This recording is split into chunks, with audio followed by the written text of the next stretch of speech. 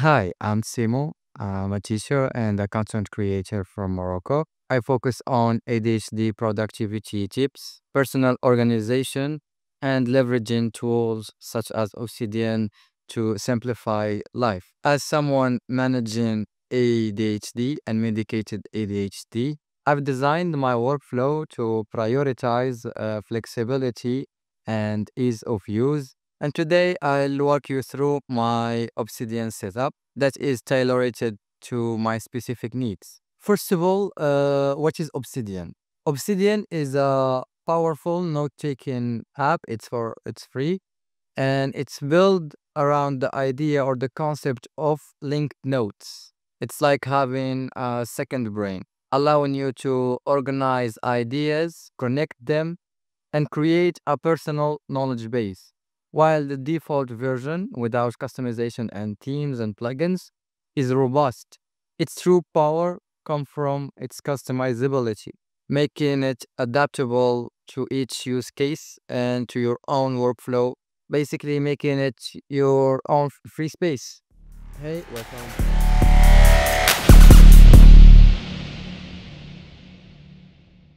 Hey, welcome to my channel. Uh, today I will dive into a subject that I am highly interested in, and that's how I use Obsidian to manage my unmedicated ADHD, my teaching job, and my life in general, tasks and organizing thoughts and doing research and stuff like that. As someone with ADHD, I am known between my friends that I overshare and I always like to share my Obsidian setup with my friends.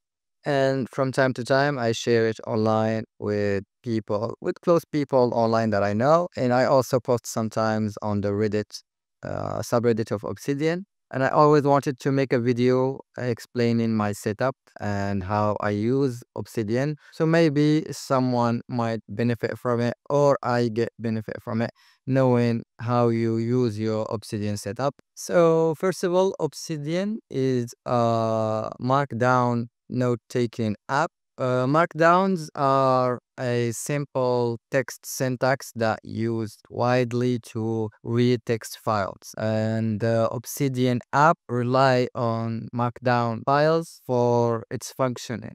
So basically, everything in your Obsidian Vault is simple folders and markdown files that you can locate on your computer and also access them without the need to the software one of the core philosophies of Obsidian is file over app. That uh, you can preserve your knowledge throughout the years without relying on any other app to access them in the future. If you have an app that can read text, you can access your vaults in the future. So to download Obsidian, you can go to obsidian.md and get Obsidian for your window or macOS, Android, iOS. First time installing Obsidian, you get this window here. You, you will have nothing here. You will be prompted to create a new vault. Or you, if you already have a folder, you can, with markdown files, you can already open it here. If you paid for the Obsidian synchronization feature, you can also sign in. Let's create a vault. You can name it anything and locate it in your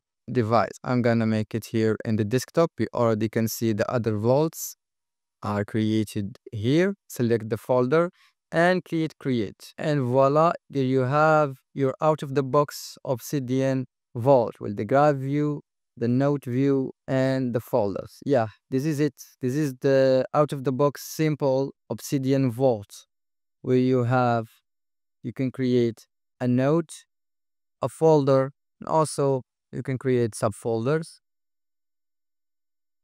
and organize things as you need. So this is the default experience. If we went to our desktop, you will find the ImageMD++ folder has been created. And it is just a normal folder that you can access just from the file explorer. And here is the folders I made, inside them the subfolders with the markdowns that I made you can see they end with .md and as you might see here in the welcome note there is text and you can easily open it through any text reading app and then it's just markdowns. You can find plenty of videos explaining by details uh, how to use it, uh, like the simple basic uh, things. So first thing first, we have the famous wiki links that you can link other notes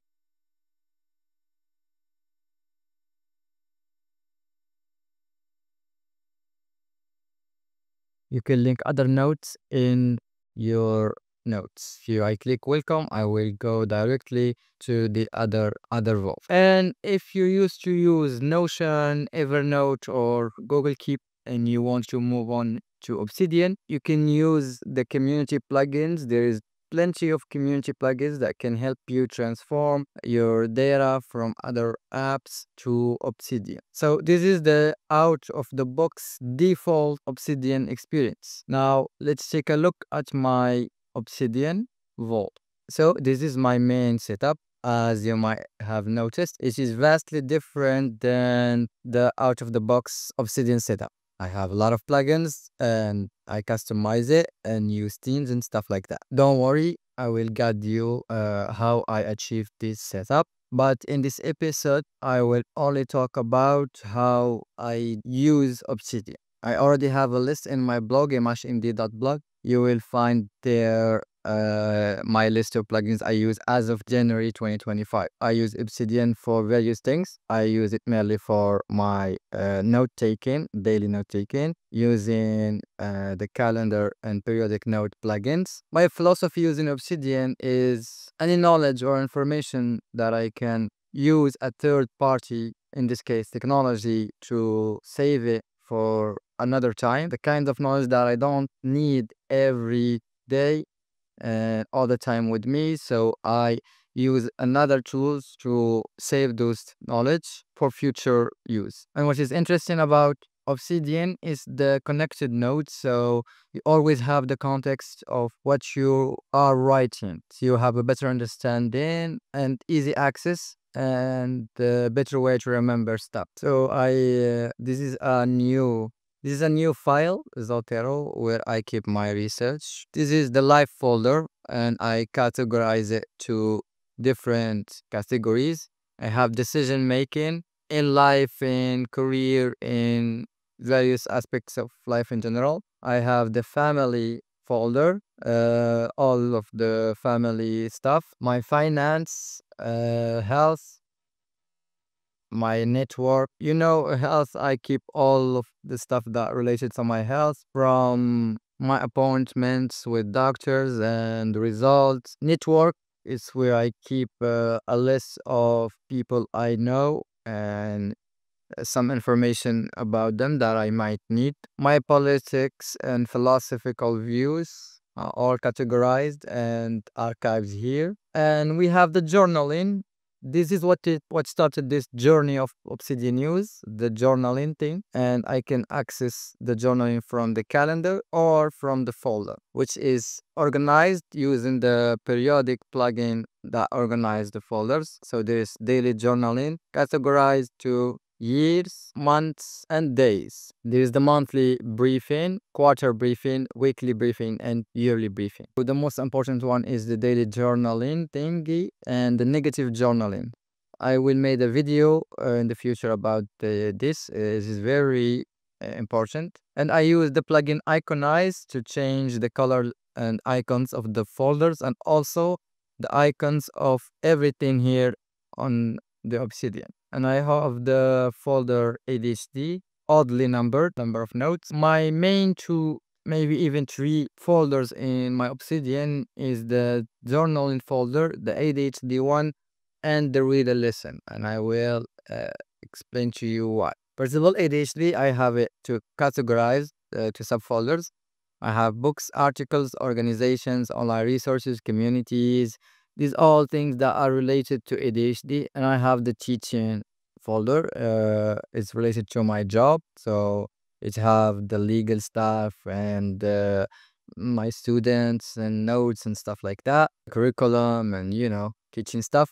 We are in the seventh folder read and listen. Here where I keep all the things I read summaries or thoughts or ideas about what I read and the links to what I read or listen to. Uh, there is articles, books, podcasts, roadmaps, scientific papers, YouTube videos, etc. So I keep them organized and I write notes about what I watch uh, or listen to or read. And it is easy to find it. And instead of watching or reading the whole thing again, I can just go back to my note and read from it and grab an idea of what is it is about. There is this uh, general useful folder. I might delete it or merge it with another folder, maybe with archive or something like that. It is like a book. It's like my bookmarks where a lot of stuff I register here from tools, softwares, and things. AI tricks you can see here. It's not that important. I might remove it.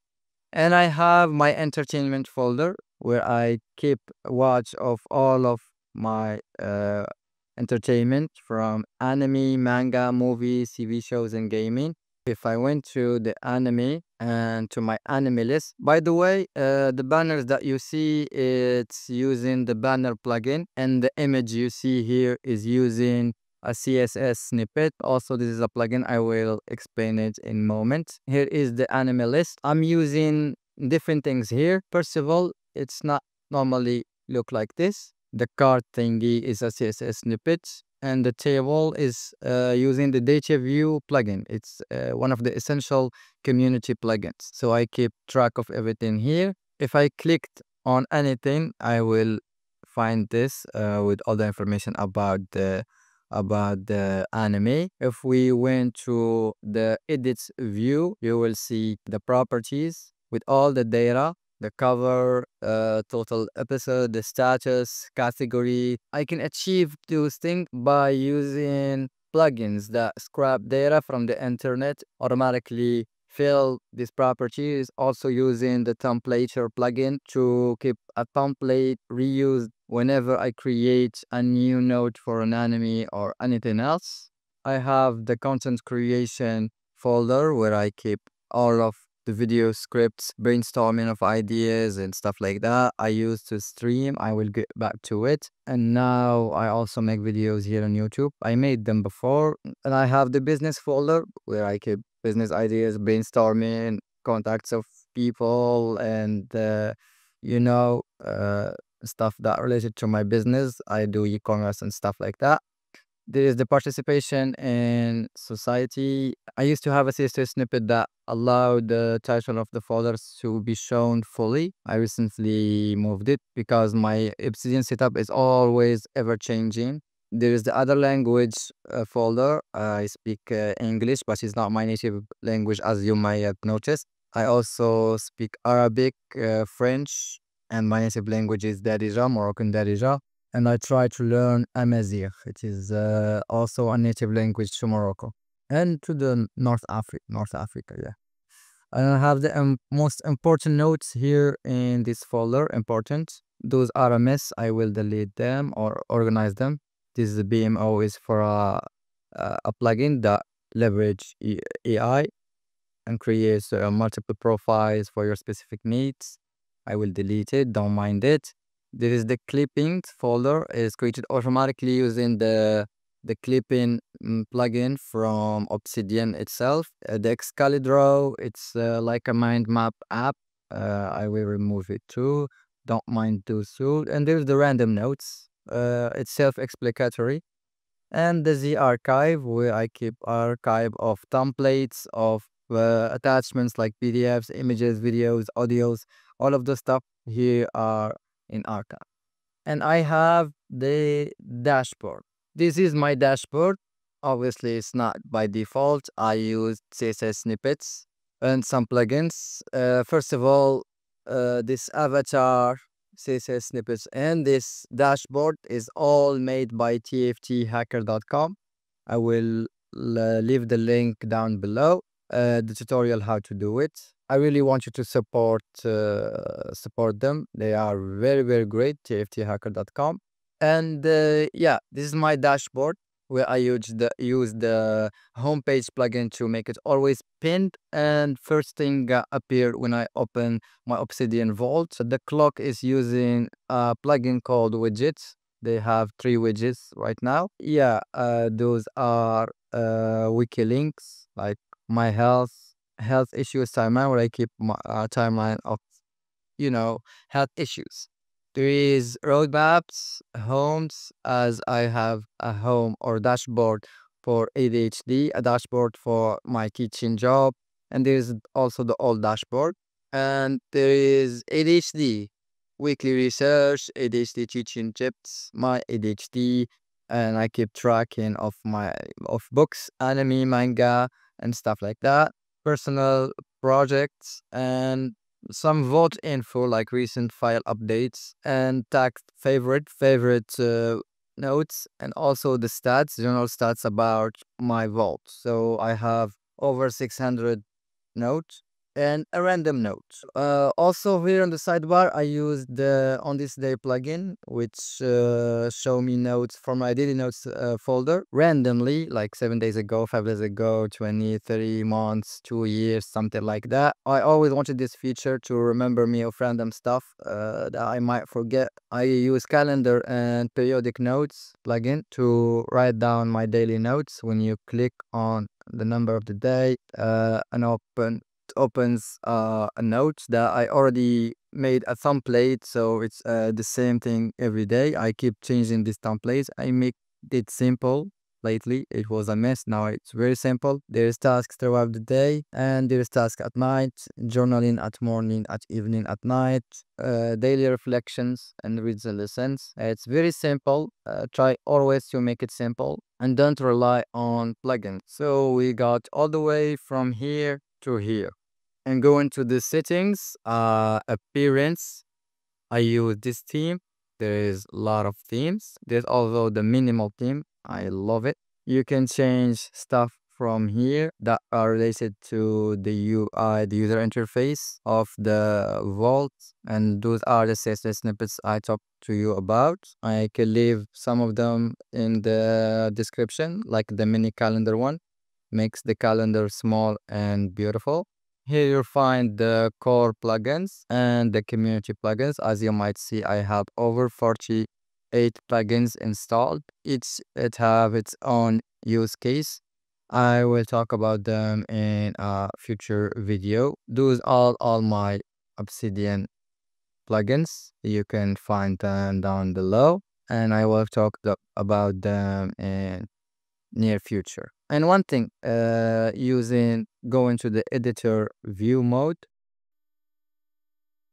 you will find this editor uh, toolbar. It's not there by default. It's a plugin called editor toolbar.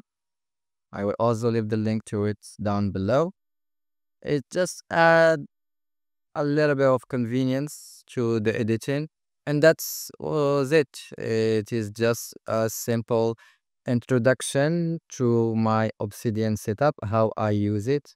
And uh, that was it. I thank you for watching and I see you soon in another video where I explain each plugin and how I use it specifically. And if you are interested about productivity tips, especially for ADHD, or unmedicated ADHD and tips in general uh, about ADHD and productivity. You can subscribe so you can uh, get updated with new videos. Also, you can follow my blog at mhmd.blog where I will also share tutorials and stuff that related to ADHD and Obsidian and productivity in general. Thank you so much for watching and see you later.